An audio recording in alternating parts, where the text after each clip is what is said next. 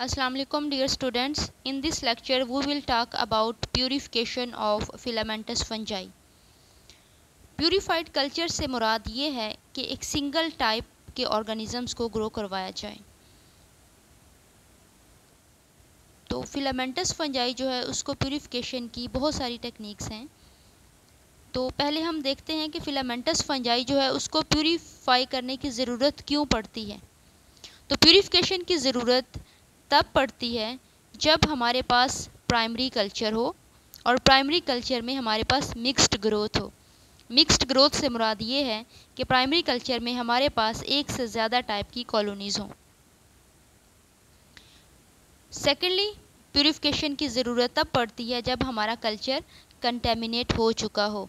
उसके अंदर undesired micro organism जो है, उनकी ग्रोथ हो। तो तब हमें कल्चर को प्योरीफाई करने की ज़रूरत पड़ती है। फंगल कल्चर्स को प्योरीफाई करने के सेवरल मेथड्स हैं। उनमें से एक टेक्निक जो इस्तेमाल होती है, वो है स्पॉटिंग स्पॉटिंग की हेल्प से हम प्राइमरी कल्चर में से डिज़ायर्ड फंजाई को प्योरीफाई कर सकते हैं या कंटेमिनेटेड कल्चर को प्योरीफाई कर सकते हैं। स्पॉटिंग बेसिकली सब कल्चर की एक टेक्निक है। तो स्पॉटिंग को हम दो तरह से परफॉर्म कर सकते हैं।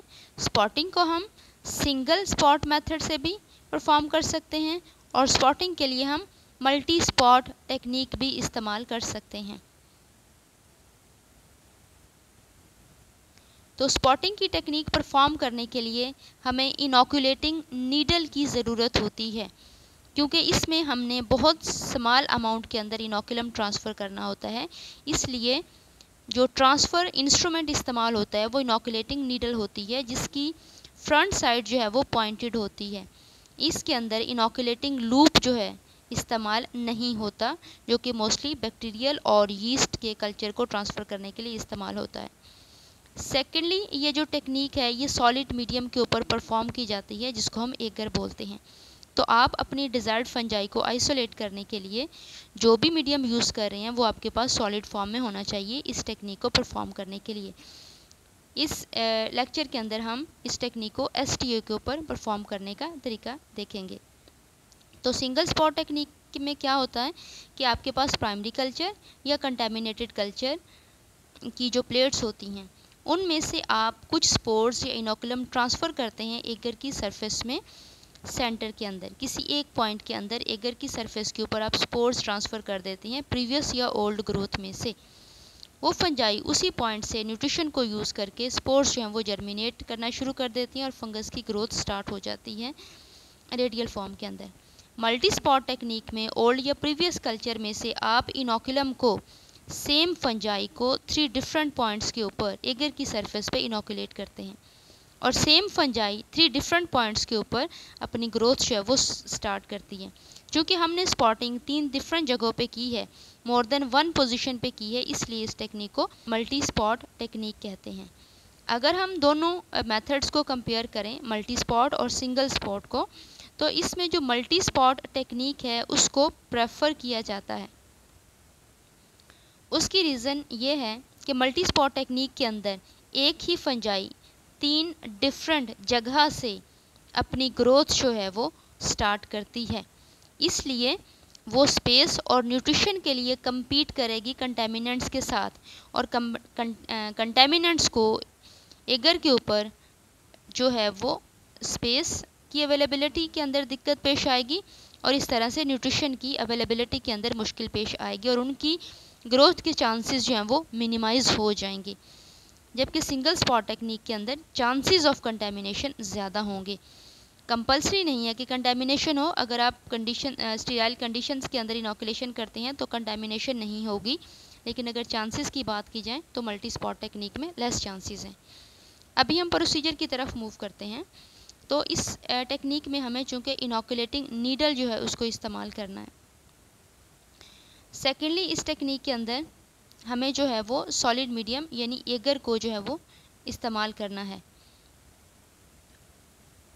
और आपके पास प्रीवियस कल्चर की प्लेट होनी चाहिए, जो कि हमने पहले डिस्कस किया है कि ये प्राइमरी कल्चर भी हो सकता है, जिसमें एक से डिफरेंट टाइप्स की कॉलोनीज़ हो सकती हैं मिक्स्ड ग्रोथ हो सकती है, और ये कंटेमिनेटेड कल्चर भी हो सकता है।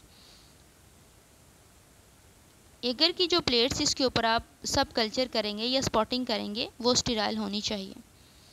तो पहला काम जो आप करेंगे, वो ये है कि वर्क स्टेशन जो है उसको डिसइनफेक्ट करेंगे और अपनी तमाम जो रिक्वायरमेंट्स हैं उनको फुलफ़िल करेंगे और डिसइनफेक्शन के लिए हम 70 परसेंट इथाइल अल्कोहल जो है उसको यूज़ करेंगे।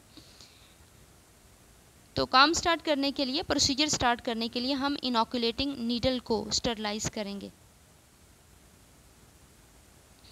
इनोकुलेटिंग नीडल जो है उसको स्टरलाइज करने के लिए भी 70 परसेंट इथाइल अल्कोहल जो है उसको इस्तेमाल किया जाता है। इसमें दो तरह से इनोकुलेटिंग नीडल को स्टरलाइज कर सकते हैं। एक तो ये है कि आप इनोकुलेटिंग नीडल को कॉटन प्लग के साथ वाइप कर लें, उसका जो पॉइंटेड एंड है, और कॉटन प्लग सोक होना चाहिए 70 परसेंट इथाइल अल्कोहल के अंदर।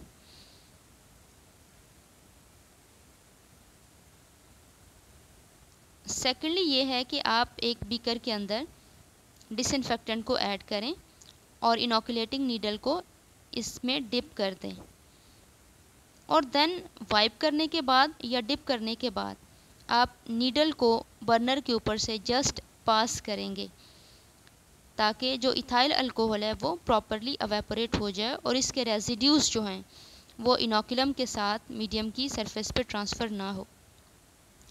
तो थर्ड स्टेप पे आप क्या करेंगे कि जिस कॉलोनी को आप प्योरीफाई करना चाह रहे हैं फंगस की जिस कॉलोनी को आप ओल्ड प्लेट में से प्योरीफाई करना चाह रहे हैं, आप इनोकुलेटिंग नीडल को उस कॉलोनी के साथ टच करेंगे इनोकुलम पिक करेंगे। तो इससे क्या होगा कि स्पोर्स जो हैं, वो नीडल के पॉइंटेड एंड के ऊपर ट्रांसफ़र हो जाएँगे। देन आप इन इन स्पोर्स को ट्रांसफ़र करेंगे सॉलिड मीडिया की सरफेस के ऊपर एगर के ऊपर, यानी इनोकुलेशन करेंगे।